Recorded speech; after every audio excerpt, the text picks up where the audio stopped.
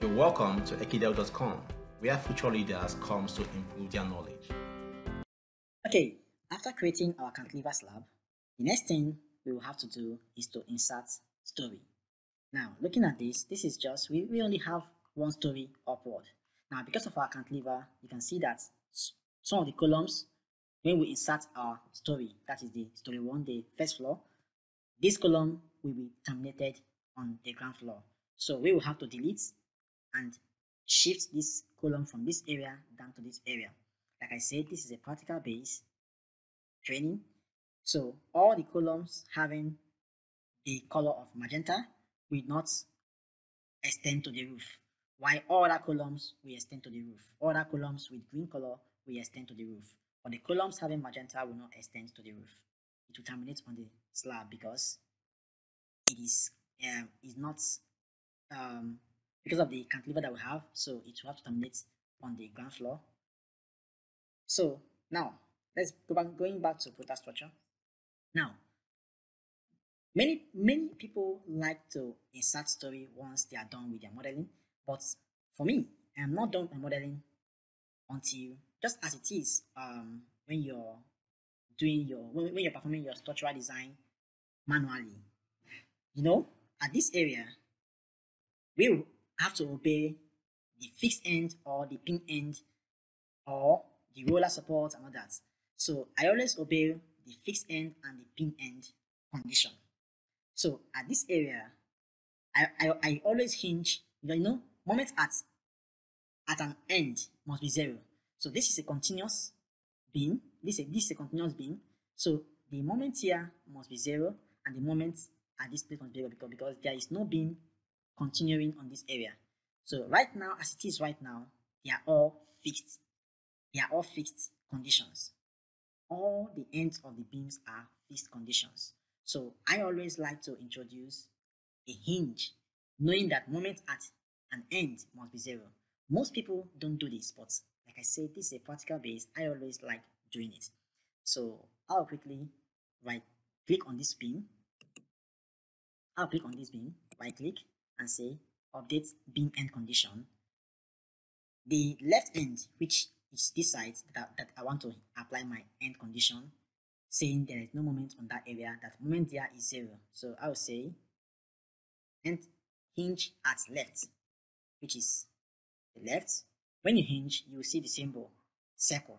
The circle is show showing that the moment at that place is zero, telling you that that place does not have moment and that place is is having a hinge support. I'll quickly um, say apply to selected beams. You can see there. So the moment here on this continuous beam and on this continuous beam at this end is equals to zero. So I'll also do the same thing here.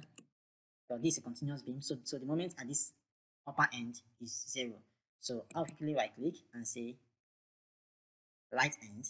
In in a, in Prota Structure, the upper side of your screen is called the J end, the downside is called the I end, and the right hand side of your screen is called the J end, and the left hand side of your screen is called the I end. So right now I want to hinge the up upper side of this beam. So I'll, if I click and say beam end condition, I'll click on J and say apply to, to selected beams. You can see. So right now the moment at this place at this beam end is zero at this beam end is zero. So I will do the same for all. The same thing happens here.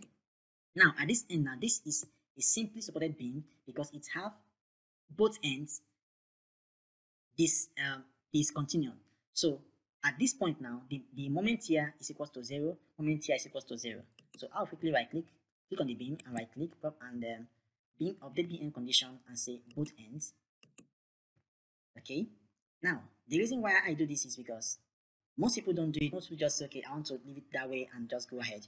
The reason why I do this is because when you, when you do this, you know, when we design, when, when we perform our structural design, we look at one, the stability and also the cost. So when you do this, you're invariably reducing the the quantity of reinforcement that we would have that this beam would have taken on this end. You know that if this place like this beam now that is meant to be then to to be hinged, if we leave it right now as a fixed end, it it will going to have a tree, either a higher diameter of um, a higher number of reinforcements on the upper um, on the on the compression side or the tension side of the of the beam. But if we assign the beam end condition, knowing that this end is is um, is not continuing, is is, is not continuing, and the end is zero, and we apply the beam end condition as this end to be zero, automatically the quantity of reinforcement that would have needed on this area of the beam will reduce. Indirectly, you are reducing cost for for your client and also the cost of the of um, of erecting the project. So I'll quickly um, do these end conditions for all. Okay, so and also the area of stability. Okay, so this is how we apply your beam end condition, your fixed and your um, your hinge end. So this side now, this beam now, at this area, we have a hinge end at this beam and a hinge end at this beam.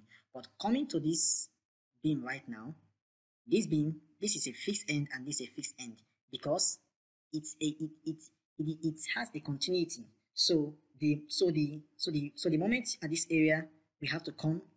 If you if I want to draw the moment diagram of this area right now, you see that it, it will come like this and rise a bit because it's a fixed end so it must have a moment. Rise and go down again. Go again. Rise and go down again. Then goes and comes back to zero.